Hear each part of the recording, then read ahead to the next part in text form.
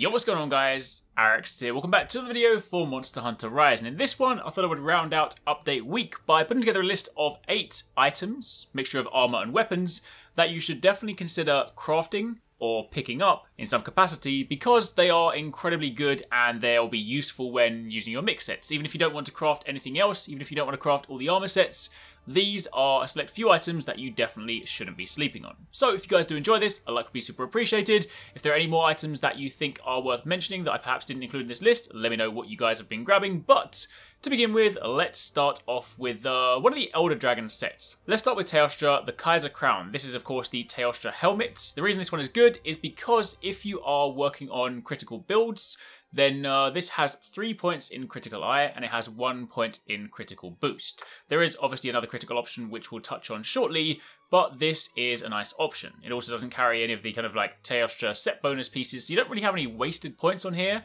and you do have a level 1 slot. Not exactly amazing on the slot front, but regardless, it is a nice helmet that you can use if you want to put together a crit build.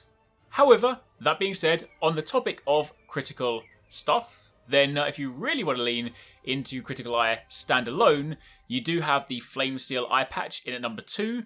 This is, of course, a uh, another really nice item. You'll kind of recognize it as sort of like the Dragon King eye patch from before, that sort of thing. Obviously, if you just want an eye patch, you can also just craft it as layered. It's just kind of a cool aesthetic design.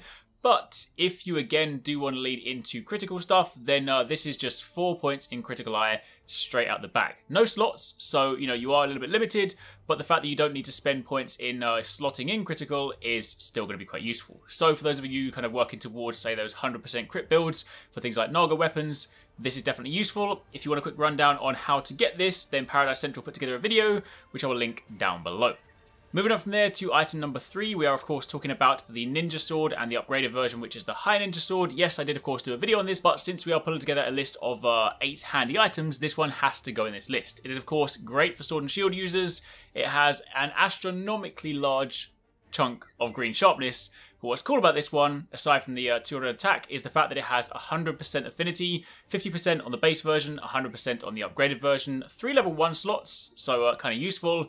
Design-wise, it's incredibly cool because it is just a blade with a uh, bracelet. So basically, if you're doing Shield Basher combo, you're punching the monster in the face. But the fact this has 100% affinity means out the gate you do not need to worry about crit skills. You don't need things like Weakness Exploit or Critical Eye, anything like that. You can just focus on other things like Attack Boost and Bludgeoner and Mind's Eye and Slugger and all those things you want. So this is a fantastic pick. Jumping back to the armor, we're now talking about the uh, helmet basically, the helmets on the Elder Dragon sets are actually pretty good. The Chameleos one, the Mizuha cap, again, only a level 1 slot, so a little bit limited on the slot front, but this one has Mind's Eye, Ballistics, and also Evade Window. Mind's Eye, of course, you know, making it so your attacks do not deflect. You do have two levels in that one, so it's not too far to max that out. Ballistics, of course, nice for the range weapons, and Evade Window is just pretty handy. So all up, that is just a pretty nice helmet to use uh, if you kind of want those skills.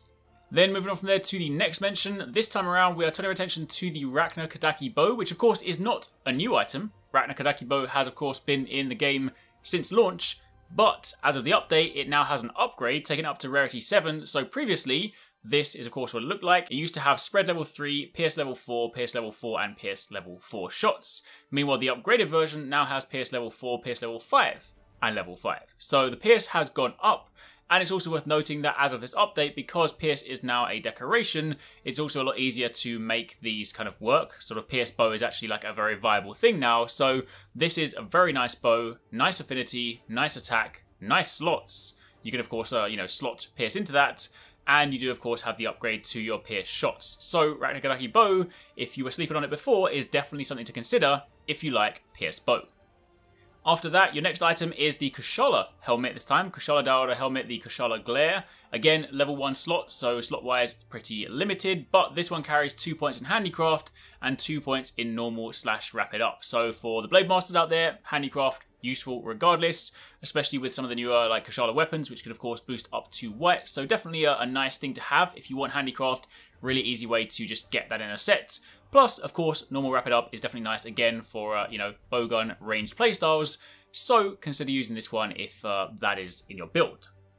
Outside of that, there is another secret item that you may not have encountered, especially if you haven't gone all the way to the arena, and that is the Feather of Mastery. This is an item that uh, is definitely useful for those of you guys trying to get the most out of your farming. So this carries Carving Master, which is a skill that you'll only get from this item. You also can't craft this, you get it as a reward. And in having this, it gives you an extra carve in your hunts. So obviously if you're trying to farm stuff, you're trying to get gems, trying to get anything like that, having an extra carve on everything, guaranteed, is fantastic. And if you want a complete guide on how to get this item, 269 put together a video which I will also link down below. And then finally, to run out, we also have a couple of pieces from Bazelgeuse. Basil Geese armor is really useful because especially the arms and the waist, these combined are very good for uh, both Charge Blade and Gun Lance playstyles. The gloves have one point in load shells, one point in guard up, and they have two level 2 slots, which is fantastic. And the waist also has two level 2 slots, and they also have load shells and guard as well. So basically, with these combined, you'd have two points in load shells. So for gun lance, that's more shells. For charge blade, that's better phial filling. And obviously, you then also have guard, guard up, and four level 2 slots, which is fantastic from a uh, mixed set point of view. So, there you have it. That is a rundown on uh, eight items. I guess technically nine if you include the fact that I chose two Basil pieces, but eight items you should definitely consider picking up from the new update. Hope you guys enjoyed the video. Be sure to keep it locked. I'll catch you guys in the next one.